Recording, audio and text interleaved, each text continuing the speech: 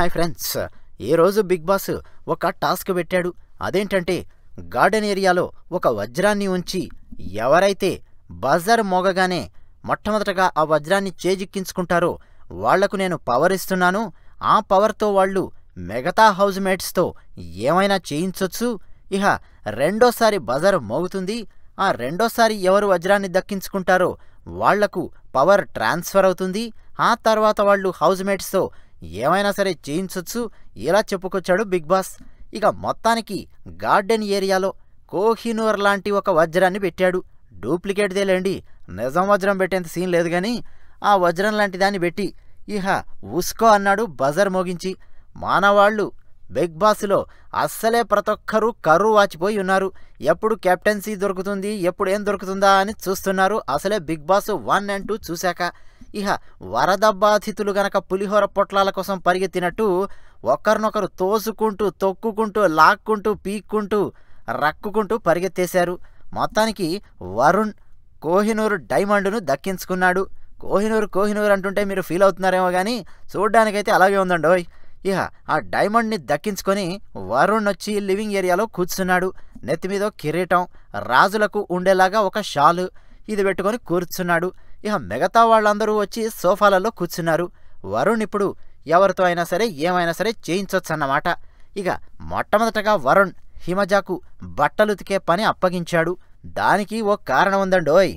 ఇంతకు big boss ఈరోజు open అవగానే వరుణ్ తమన్నా ఇద్దరు ఇంకా జైల్లో ఉన్నదే చూపించారు. ఆ సందర్భంలో హిమజ తన అభిప్రాయాన్ని చెబుతూ వరుణ్ గత రెండు రోజులుగా ఇచ్చిన టాస్కులు సరిగ్గా చెయ్యలేదు అని రియలైజ్ అయ్యాడేమో అందుకే జైలుకు వెళ్ళడానికి తనే మొట్టమొదటగా లేచి నించున్నాడు అని తన అభిప్రాయాన్ని చెప్పింది. అంతే మిగతా ఇద్దరు ముగ్గురు సీరియస్ అయ్యారు. అందులో అలీ మాత్రం బాగా హైలైట్ అయ్యాడు. ఇక శివజ్యోతి కూడా ఏదో చెప్పడానికి ట్రై చేసింది కానీ అటు వరుణ్ వైపు మాట్లాడుతుందో ఇటు హిమజా వైపు మాట్లాడుతుందో జనాలకైతే అర్థం కాలేదు. ముఖ్యంగా శివజ్యోతి గారు చాలా సందర్భాలలో గట్టి వాయిస్తో మాట్లాడడం వల్ల ఆవిడ వాయిస్ మీదికే జనాల ఏకాగ్రత వెళుతోంది కానీ ఆవిడ ఏం పాయింట్ చెబుతోంది అన్న విషయం మీదికి మాత్రం చాలా సందర్భాలలో ఏకాగ్రత వెళ్ళడం లేదు. ఇక అలీ ఏమో గట్టిగా అరుస్తూ మొత్తానికి క్యారీ అవే అయిపోయాడు. హిమజా మీదికి ఎగబడ్డం మొదలెట్టాడు. అయితే అలీ చెప్పే విషయంలో కూడా పాయింట్ ఉందండోయ్. అలీ చెప్పడం ఏంటంటే ఆల్రెడీ అయిపోయింది కదా ఎందుకు దాని గురించి మళ్ళీ మాట్లాడడం అన్నది అలీ పాయింట్. ఇక హిమజా పాయింట్ ఏమో నేనేమనుకున్నానో మనసులో అది నేను బయటికి అనేశాను. నీ సమస్య ఏమిటయ్యా? అలీ అని హిమజ అనేసింది. ఇహ అలీ ఊరుకోకుండా నువ్వు అలా నోరు జారకూడదు అని చెబుతున్నాను. వాడు లేచాడు లోపలికెళ్ళాడు స్టోరీ ఖతం మళ్ళీ దాని గురించి మాట్లాడడం ఏంటి అని అలీ గాఠి వాయిస్తో అనేశాడు. ఇక హిమజ నువ్వు ఓవర్గా రియాక్ట్ అవుతున్నావు అలీ. కావాలంటే నన్ను నామినేట్ చేయి ఈ రీజన్ తీసుకొని అనేసింది. ఇహ అలీ కూడా హిమజాకు కౌంటర్ ఇవ్వడం మొదలెట్టాడు. ఈ రత్సంతా అంతా జరిగింది. ఈ విషయం వితిక వరుణ్కి చెప్పేసింది. ఇదిగో ఇలా అంటోంది హిమజ అని. ఇహ దాంతో వరుణ్ మనసులో ఆ విషయం పెట్టేసుకున్నాడు. హిమజతో మాత్రం don't discuss with anyone let them talk let them rock let them shock whatever they want let them do it అని వరుణ్ వితికతో అనేశాడు. కానీ వరుణ్ మొత్తానికైతే హిమజాకు బట్టలుతికే ఆ టాస్క్ అప్పగించి ఇలా లైట్గా తన స్వీట్ రివెంజ్ని తీర్చేసుకున్నాడు. అయితే హిమజ కూడా ఏమీ ఫీల్ అవ్వకుండా తనకు అప్పగించిన పనిని బాధ్యతాయుతంగా చేయడం మొదలెట్టింది. ఇహ వరుణ్ మిగతా వాళ్ళతో కూడా డ్యాన్సులు గట్రా చేయించేశాడు. ముఖ్యంగా రంగస్థలం పాటను రాహుల్ సిప్లీగంజ్ పాడుతుంటే జాఫరు పునర్నవి డ్యాన్స్ చేయడం ఇది కామెడీగా ఉంది. మొత్తానికి జాఫర్ గారు బాబా భాస్కర్ గారి శిక్షణలో బాగానే ఇంప్రూవ్ అయ్యారు. ఇక వరుణ్ మొత్తానికి బ్లాంకెట్ మడతబెట్టి దిండ్లు సర్ది రూము మెరిసిపోయేలా సర్దండి అని మహేష్కు శ్రీముఖికి ఆర్డర్ వేశాడు. వాళ్ళిద్దరూ ఆ పని చేశారు. ఇక వరుణ్ బాబా భాస్కర్ని తమన్నాని పిలిచి స్నేక్ డ్యాన్స్ చేయమని పురమాయించాడు. ఇక అది స్నేక్ డ్యాన్సో అనకొండ డ్యాన్సో జనాలకే అర్థం కావాలి. భూమి అదిరిపోయేలా అనకొండ డ్యాన్స్ చేసేశారు. ఇక ఆ తర్వాత మళ్ళీ బజర్ మోగింది. అంటే రెండో వ్యక్తి వజ్రాన్ని చేజిక్కించుకోవాలి. ఇక్కడే ఒక విషయం జరిగింది. అదేమిటంటే మళ్ళీ ఈసారి వరద బాధితులలాగా కంటే మరింత దారుణంగా పరిగెత్తారు జనం. అలీ అయితే ఆ వేగంలో శివజ్యోతిని తోసేశాడు. ఆవిడ కింద పడింది. అలీ వజ్రాన్నైతే దక్కించుకున్నాడు గాని అక్కడే కాసేపు శివజ్యోతి దగ్గర కూర్చొని సారీ చెప్పడం మొదలెట్టాడు. ఆ తోసేదేదో బాబా భాస్కర్నో జాఫర్నో తోసేసుంటే అంత పెద్ద సీన్ అయ్యుండేది కాదు గాని శివజ్యోతిని తోసేయడంతో అక్కడో సీన్ నడిచింది. మొత్తానికి శివజ్యోతి గారికి పాపం ఫిజికల్గా పెయిన్ అయినట్టుంది. ఆవిడ ఏడ్చారు. ఈ ఏడుపులో అర్థం ఉందిలేండి. ఫిజికల్గా బాధ కలిగినప్పుడు ఏడవడంలో తప్పేమీ లేదు. అయితే అలీ కూడా పాపం బాగానే ఫీల్ అయ్యాడు. ఏది ఏమైనా తోసేసో తొక్కేసో అలీ మాత్రం కిరీటాన్ని దక్కించుకున్నాడు. ఇహ ఇక్కడితో రెండో లెవెల్ రచ్చ ప్రారంభం అయ్యింది. జనాలకు చిరాకు ఇరిటేషన్ వచ్చిన మినిట్స్ అంటే ఇవే అని చెప్పక తప్పదు. అలీ వజ్రాన్ని చేజిక్కించుకున్న తర్వాత ఓ ముగ్గురికి లేడీ గెటప్ వేయండి డ్యాన్స్ చేయండి అని పురమాయించాడు ర్యాగింగ్ టైప్లో. సరే జాఫర్ గారు చాలా నీట్గా తిరస్కరించారు. సారీ బ్రదర్ నేను లేడీ గెటప్ వెయ్యను ప్లీజ్ కావాలంటే నాకు వేరే పనిష్మెంట్ ఇవ్వండి అని జాఫర్ గారు నీట్గా చెప్పారు. అలీ కూడా దానికి ఓకే అని నో ప్రాబ్లం సార్ లైట్ తీసుకోండి అని చెప్పాడు. ఇహ మిగతా వాళ్ళలో బాబా భాస్కర్ అశ్వర్ రెడ్డి డ్రెస్ వేసుకొని కాసేపు కామెడీ చేశాడు. శివజ్యోతి రవి వీళ్ళిద్దరూ కూడా లేడీ అండ్ జంట్ గెటప్ లాగా వేసేసుకొని కాస్త సరదాగా ఏదో కామెడీ పుట్టించబోయారు. ఇదంతా ఇలా సరదాగా నడుస్తూనే ఉంది. అందులో మహేష్ రోహిణి వీళ్ళిద్దరూ ఒక లైలా కోసం డ్యాన్స్ కాసేపు చేసి సరదాగా కామెడీ చేశారు. ఇక మొత్తం మీద ఈ సీన్ జరుగుతుంటే మా ఫీలింగ్ ఏంటంటే ఫ్రెండ్స్ జబర్దస్త్లోనే మగాళ్ళు ఆడాళ్ళ గెటప్స్ వేసుకొని చావగొట్టి చెవులు మూస్తుంటే అస్సలు భరించలేక చాలా సందర్భాలలో టీవీ రిమోట్కు పని కల్పిస్తూ ఉంటాం మేము. అలాంటిది మళ్ళీ ఇప్పుడు మగాళ్ళు లేడీ గెటప్పులు వేసుకోవడం లేడీస్ మగాళ్ళ గెటప్పులు వేసుకోవడం సరే చిరాకైతే వచ్చింది కానీ ఏదో అలీ చెప్పాడు కదా కాసేపు చూద్దాంలే అని చూస్తున్నాం. ఇక ఈ లోపల తమన్నా గారికి కోపం వచ్చేసింది. మరి జెంట్స్ లేడీ గెటప్స్ వేసుకొని అలా చేసినందుకు ఆవిడ కోపం వచ్చిందో ఏంటో జనాలకైతే స్పష్టంగా అర్థం కాలేదు కానీ మధ్యలో వచ్చి వరుణ్ణి చూపించింది. వాడు చేయట్లేదు వీడు ఇది చేయట్లేదు అని ఇక ప్రారంభించింది. అలీ ఆన్సర్ ఇచ్చి ఊరుకున్నాడు. తమన్నా మాత్రం అస్సలు అస్సలు ఊరుకోలేదు. ఇక నోటికి అడ్డు అదుపు లేదు. తమన్నాను ఆపడం అస్సలు ఎవరికే సాధ్యం అయ్యేలా లేదు. స్టార్ట్ చేసిందంటే ఇక ఆపడం లేదు. ఏమిటేమిటో అనేస్తోంది. ఇక అలీని ఉద్దేశించి తమన్నా చాలా సీరియస్గా ఘాటు వ్యాఖ్యలు చేయడం మొదలెట్టింది. ఏదో వస్తుందని చెప్పి క్యారెక్టర్ దిగజార్చుకోవడం అంటే ఇదే అంటూ అలీ క్యారెక్టర్పై అతి తీవ్రమైన ఆరోపణలు చేసింది తమన్నా. ఆరోపణలు కాదండోయ్ డైరెక్ట్ సీరియస్ విమర్శలే. తమన్నా అనడం నువ్వే మెగాస్టార్వి సూపర్ స్టార్వి కాదు అసలు నువ్వు ఇండస్ట్రీలో ఎదగలేవు. తెల్లతోలు ఉన్నోళ్ళందరూ హీరోలు కాదు సిక్స్ ప్యాకులు పెంచినోళ్ళందరూ హీరోలు కాదు. ఇలా గ్యాపిచ్చి గ్యాపిచ్చి ఆవిడ అనడం మొదలెట్టింది.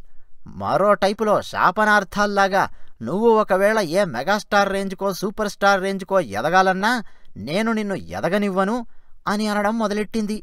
జనాలకు ఆ లోపలున్న జనాలకు ఎలా రియాక్ట్ అవ్వాలో అర్థం కావడం లేదు.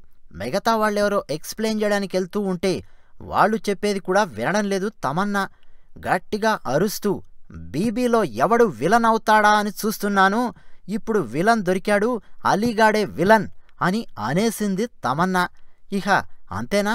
అలీకి బ్రెయినే లేదు ఇక్కడ నేను సైలెంట్గా తిని పడుకోవడానికి రాలేదు నాకు నచ్చని విషయాలకు నేను రెస్పాండ్ అవుతాను అని చెప్పడం మొదలెట్టింది. బీబీలోకి అలీగాడ్ ఎందుకొచ్చాడో అర్థమయ్యింది.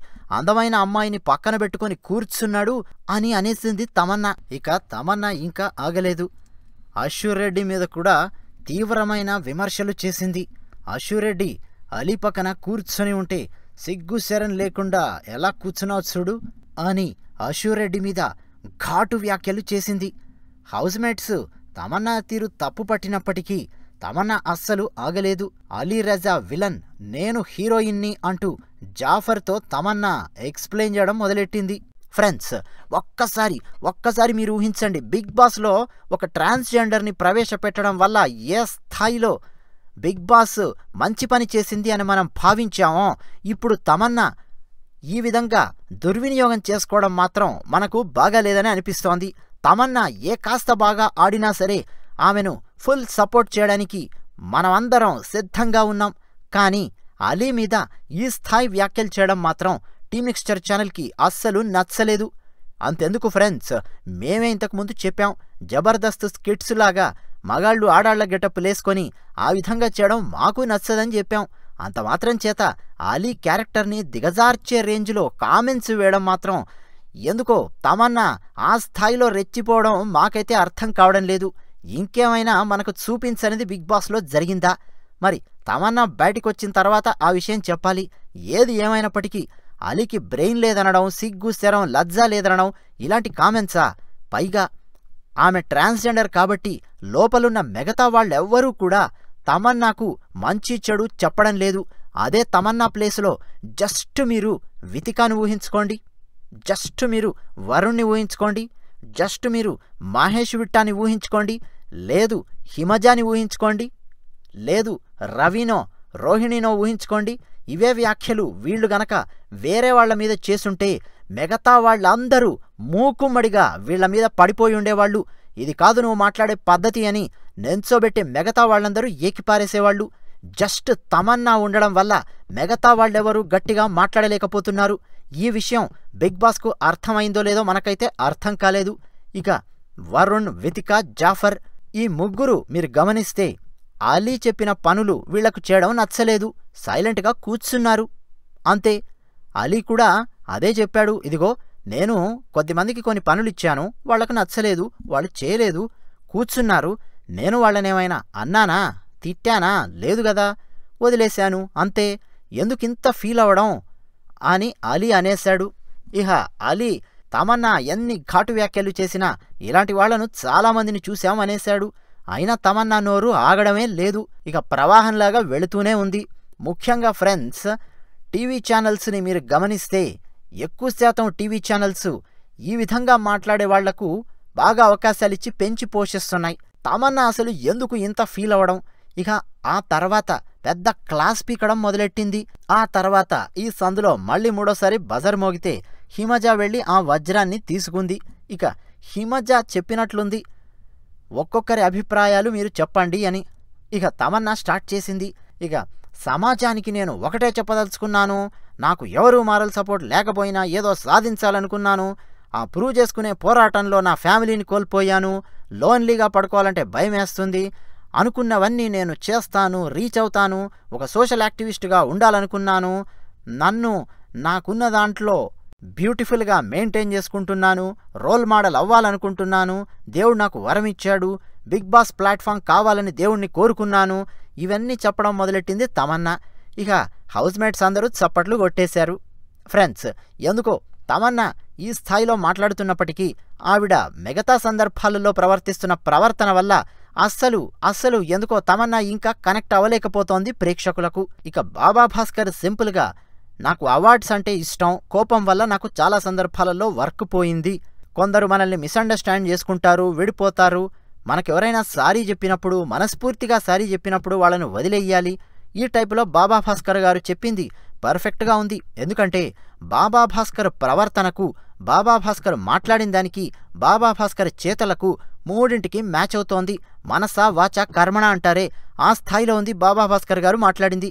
అందుకే మహేష్ విట్టా వెళ్ళి బాబా భాస్కర్ను అప్రిషియేట్ చేస్తూ ఒక మనిషిలో ఇంత చిన్న నెగిటివిటీ కూడా లేదు అంటే అది బాబా భాస్కరే అని మహేష్ కితాబ్ ఇవ్వడం మీరందరూ గమనించే ఉంటారు. ఇది ఫ్రెండ్స్ ఇక చెట్ట చివరగా అయితే కెప్టెన్గా ఎవరుంటారో మీ ముగ్గురులో ఎనుకోండి అని వజ్రాన్ని చేజిక్కించుకున్న వరుణ్ అలీ హిమజ ఈ ముగ్గురికి చెప్పేశాడు బిగ్ బాస్. అయితే వీళ్ళను ముందు నించోబెట్టి ఎవరు కెప్టెన్గా ఉండాలో డిసైడ్ చేయాల్సింది మాత్రం house మేట్సే housemates votes Varun and Ali వీళ్ళిద్దరికీ టై అయ్యాయి. టై బ్రేక్ చేయడానికి మొత్తానికి హిమజాకు ఛాన్స్ వస్తే హిమజా ఓటేసి వరుణ్ణి కెప్టెన్గా ఎన్నుకుంది. ఇది ఫ్రెండ్స్ వరుణ్ అయితే బిగ్ బాస్ త్రీలో మొట్టమొదటి కెప్టెన్ అయ్యాడు. ఈ ఎపిసోడ్పై మీ అభిప్రాయాలను తప్పకుండా తెలియజేస్తారని ఆశిస్తున్నాం. నచ్చితే లైక్ నచ్చకపోతే డిస్లైక్ కొట్టండి. టీమిక్స్చర్ ఛానల్కు సబ్స్క్రైబ్ అవ్వండి. ధన్యవాదాలు ఫ్రెండ్స్.